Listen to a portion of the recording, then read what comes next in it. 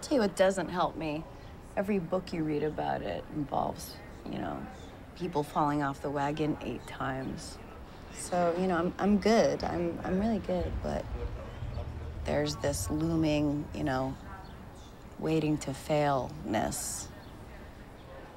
You look so well. I know. I honestly think I look better than before I had Tony. Thoughts? You yeah, you look you look amazing. Thank you. It's kind of moment where you want to chime in real quick.